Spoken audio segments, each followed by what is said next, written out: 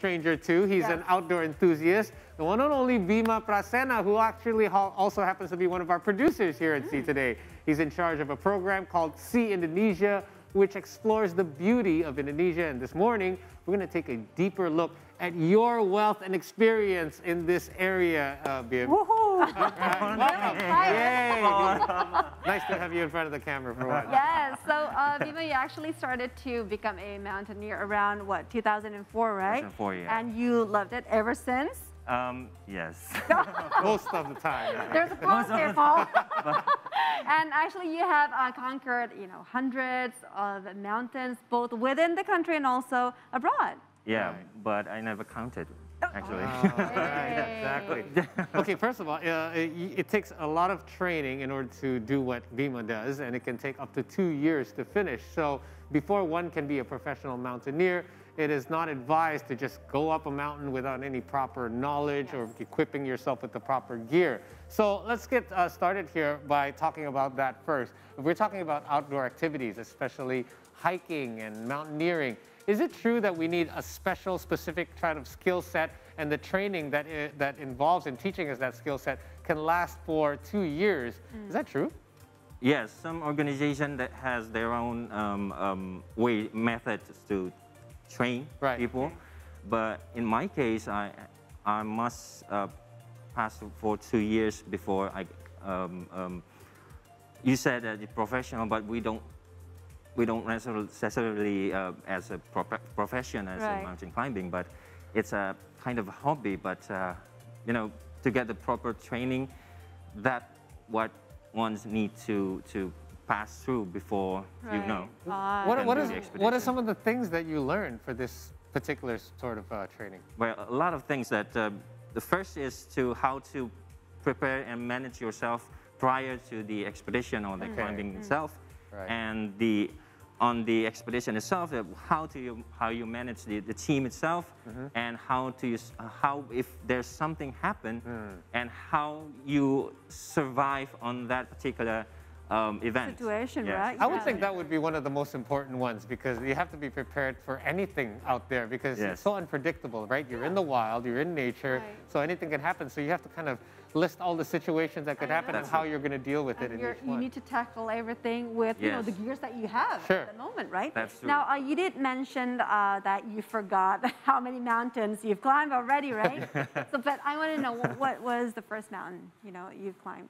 The first mountain, I guess it would be uh, the uh, in West Java, but I forget the, the name because Right. it's not a popular mountain, Right. and we train as a pioneer. You know, Okay. it's Oh, not okay. just like a mountain climber, but we do expedition that uh, that what we say that it's a pioneering expedition that nobody knows where it is. So no- there was there was a special mission to it. yes, Ah. So nobody's done that before, basically. Ne- nobody done that before. That's got to Yeah. be scary.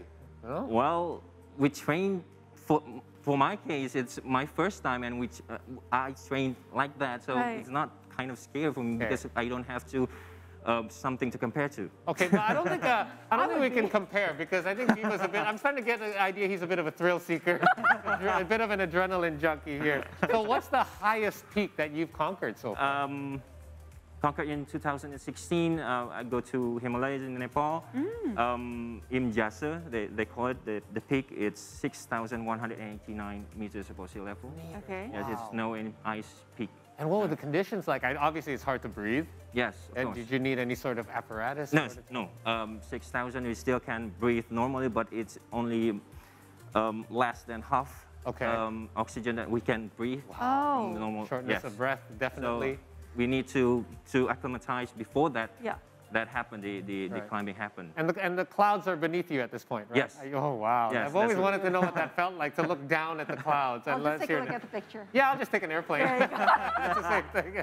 Now, Bima, um, as we are going camping or mount climbing, maybe there are you know stuffs that or gears that we ac- Yeah. actually need to take with us, right, for the Yeah. trip. Now, um, can you just share with us here, you know, the equipment or the gears that is a must for a rookie? Well, actually, the irony is my equipment is, has more um, you know, experienced than me because in, in mountain climbing uh, community that we can we support each other. That so if you go to the, um, any mountains that um, you, you don't have the equipment, that we can support you. Okay. So s- today I don't have it You don't all, have it so all, right? Some of it. Okay. Uh, I got here, uh, but it basically it's kind of mountaineering uh, equipment that Right. as you can see here, it's a climbing equipment that we use um, in high mountains Mm-hmm. and rocky mountains. So basically, uh, we start from here. That is, this is the harness that where you can put yourself. Um, Okay, this is the one that goes around yes. you. This is the like main the harness. belt, Can you show right? us how you how do you? Uh, Okay. It looks like This something is- that I have for my baby boy, but much bigger adult That- version. That's for walking, right? Free walker. Yeah. Do I need to go here? But yeah, Yeah, yeah. Feel free. Show us how Okay. it's done. Okay. Okay, this is the leg loop. Now it doesn't it doesn't look very big, but I'm sure it's very strong. Like it's obviously strong enough to hold you. Yes, Yeah. And it's you feel safe using this. Look at Okay, that. it's kind of Okay. have a it can withstand um, in newton meters okay. um, So how trustworthy is this equipment? Because obviously this is your your entire weight is sometimes being supported on this um, with the ropes. Do you have to prepare and double check everything before you go? yes of course and that is that is the problem with uh, rookie Okay. um, climbers so Right. we need to feel the equipment first and make sure that the equipment is certified Okay. first Okay.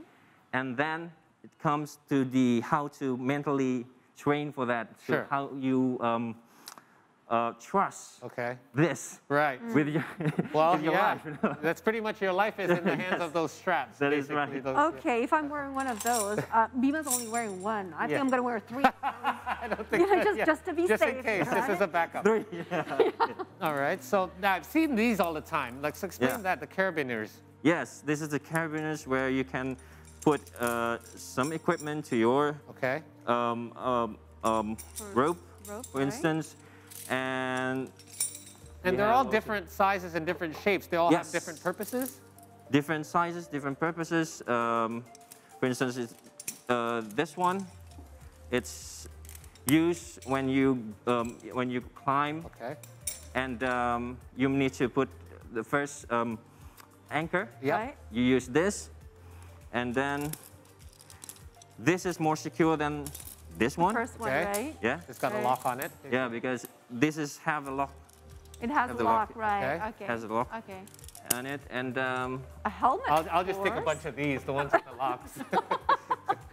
and this one is we, what we call the ascenders. okay, I've seen those. So basically, they act like a grip That one. for the rope. So it helps you yeah. grip the rope That's without right. you having to literally use your Yes. fingers. It's a Fingers, strong That's grip. right. So that's how you can climb. Oh, Okay. all right. Okay. And if we need to rappel down or abseil, we use this one. Okay. We call it figure of eight, Okay. so you can rappel down. Okay. All right. And then, of course, you need to wear the yeah. Number one, helmet. right? Yeah. Number one. Okay. because of the rocks falling and everything. So I've got the ropes here. Um, those are extra ropes. And how Yeah. about the shoes there? Is Yeah, I there, noticed. you Those know, are actually type? climbing shoes, right? Right. Yes, this is the climbing shoes. This is uh, um, special made for climbing. They look very well worn, by the way. Look at the bottoms of them. Is it, is it thin or can it, can it just touch Yes. it a little bit? So it's thin and flexible. Ex- So you need to be able to kind of Right. almost Yes. be at the surface of the rocks. So if you, you have uh, you have your, your regular shoes, you, Right. your shoes like this, uh, Right. your feet will be like this. Sure. But when you use this, your feet will be like this. Oh, it has to be tight. Yes, Super tight. very tight. Why is that? Because you need to to um, um, take the, those point Yeah. really small, Okay. right? Right. So you can you kind of um, need your toes To be able to push it in. push it in, and your other fingers support the toes. Oh, wow. Okay, so you can't have any give whatsoever because it's such a small margin for error, Yes. I guess, right? When you're on those small crevices. Yes. Okay. So you have to, when you're hiking, let's say you're mountaineering, you're wearing your regular boots, but then when you have to climb a surface, you're gonna have to switch up to your, Yes, your climbing right. shoes. Ah, Okay, so there's a lot of equipment to carry. How lot of- tiring is it to bring all that upwards, like thousands of meters? Well, mountain climbing is actually tiring. Yeah, it, it seems very draining even doing it on Yes. your own. Of like course. especially with how, how many kilos are we looking at total equipment when you're actually going? Uh, I think 20 to 40 kilos. Wow. 20 to 40, Yes. so you wear a backpack, you put all the stuff Yes. on your back and you climb it with Yeah. it. Okay, including the tent as well. Yes, Oh, not wow. include the documentaries uh, equipment. Sure. Yeah. Not to mention cameras Yeah. and Right, GoPros and all this other food things. Maybe, right? Okay. Okay. So these are some of the challenges uh, uh, you you can already see before you even start because Yes. you have to imagine climbing a mountain. Imagine already carrying like an extra 40 kilos with you. Yeah. But there's such a thing called um, acute.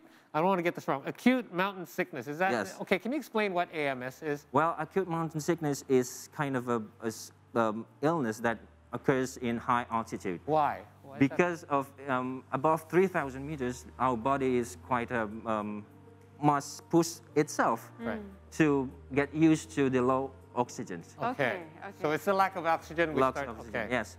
So uh, because of the Because of the. because of the um, uh, the lack of oxygen, Right? even Mm-hmm. even the, the professional one can get also the AMS. Right. Mm-hmm. So you can't really train to uh, avoid that, right? Yes, Okay. it sometimes appears uh, somewhere. So what are the symptoms of AMS? Like what can start happening if you start suffering from it? Um, some people, most of the people uh, get headache, really, really bad headache. Okay. Uh, some of the people um, lost their control of their body Right. and you know unconsciousness and Right. really uh, uh, guide them to, to death. Right. And Okay, uh, hallucinations can happen as Yes, well, right? I've seen that in it happened to you before? Yes. Oh. Has. Okay. So how did you deal with it when you, you felt okay? I think I think I'm getting this acute mountain AMS, sickness. yeah. How do you end up dealing with it so you can still manage yourself? Um, well, I need to go down first. Right. Oh, you That have to start The descending right away. Yes. Right, right. Okay. There's no other way around it. No other way. The the uh, the um, uh, medicine is only helping you to deal with the Okay. the situation, but is not curing. Okay. The cure itself just descends. Just get down. Okay. Well, that's a red flag for sure, right? To look out. Of course. All right. now, um, why was the Kumotori mountain climb so memorable for you? Oh. Bima? Oh, there's a good story. We started- oh, started with Brought a smile to his face immediately. Right. So in 2018, uh, we kind of initiate our my, our own project. Me with uh, my friend Rizal to climb the 49 highest points in 49 uh, Asian countries. Okay. And that time, the first climbing is in Fuji in winter season. After that, the Rizal um, go home first because the flight is um, ahead of me. Right. And I still have three or two, two or three days uh, to spend in Tokyo. Okay. And then I said, uh, what, uh, what am I going to do in Why city? not climb a mountain then if you have a couple of days to go? That's what always crosses my mind on a vacation. so, so I've opened up my smartphone and I, what is the highest mountain in Tokyo Prefecture? Right. Wow. And that is uh, what comes out. And this Oh, is, we're looking is- at it right now, Yeah. Right? you This is go. what you That's came up with when you Googled it. Yeah, And so then? the Kumotori mountain is not a popular mountain for the foreign mountaineers. Okay. Right. So uh, everything is signage and everything is in um, not in Romanji but uh, in Japanese. Right. So Right. it's really hard to understand that. Right, Sure. yes. So what uh, I choose the, the the longest path to climb up, Right. and I Were choose- you alone by? Yes, at that- alone, it's solo. Okay. okay. Okay, so this, this and we're looking at documentation from you. Yes. Yes. Okay. And um, unfortunately, when I go down, um, I choose to the, the, the shortest one, Right. but It turns out. it turns out the highest and the, lo- uh, the, the longest one, you know. Oh, you- you made a mistake there a little bit. Okay. mistake. Ended up And then, oh, look at your face there. Oh, okay. So um, yeah, the um, at that point uh, I cannot go back because there's a lot of uh, gears in my Sure. bag. Right, so right. Yeah. I cannot climb You're climb up. committed So already. yeah, Yeah. I know that I can do this if I go uh, straight down. Mm-hmm. But ins- uh, the the risk is to um, lose my uh, tickets. Oh, All right. Okay, you're still trying to catch your. Yeah. Yeah, right. Because okay. of the time, yes. at the uh, middle of the track, so I met this one guy. There's only one guy that, in that that long track. There's only one guy that I met. Right. So he said, uh, "Where you going to go? I'm going to go here. This is not the track. This is not the course. This is the the longest one." You sure? You sure it was a real guy, right? You're not hallucinating. I You think so. Was it the guy in the video for that? Uh, I think not. No? Yeah, no. Okay. And No, then? so Video. then, how did it go? How did it end? So he started to uh, help me to get to the uh, to, to finish the course Oh, and nice. in time. So um, in order to make the last bus to get the, the in the last uh, to the last station, Right. I need to you know uh, hike down for four hours Right, I'll, I'll cut you just there.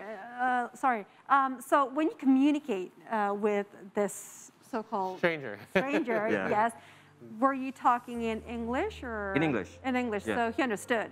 Understood. Yeah. Oh, okay, good. okay, good. That So- helps. okay, yeah, continue.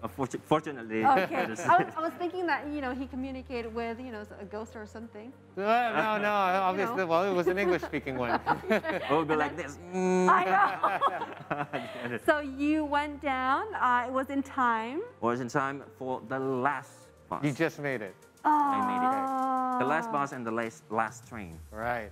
so how, uh, like, so basically, you pushed yourself to the limit. You were able to finally make it, but it did take you the entire time that you gave yourself in order to do this. What was the total time that you, from the point you left all the way until you eventually made that last bus? I think it's um, close to 12 hours, I guess. Wow, outstanding. 12 hours, yeah. Just God. nonstop For work, and that's a lot of. last A, you have really a strong endurance there. So does, doesn't so he? You've got you, that was one out of, but then this project is ongoing. You mentioned how many? 49 peaks in total. 49 peaks. How's that going so far? Um, well, we started in 2018, but in 2020 we cannot, Right. you know. So it's just only three that we managed to finish. Right. For uh, Japan in Fuji, uh, Doi Inthanon in Thailand, and Vietnam in Phan Xip, uh, Phan Xipan Mountain. Okay. Let me ask you about uh, since you mentioned the pandemic. This is all outdoors. It's part of nature. There's no big crowds. How has the pandemic affected? I mean, apart from taking a flight to a different country, obviously there's restrictions and rules and quarantine. But apart from that, has climbing or mountaineering changed since the pandemic?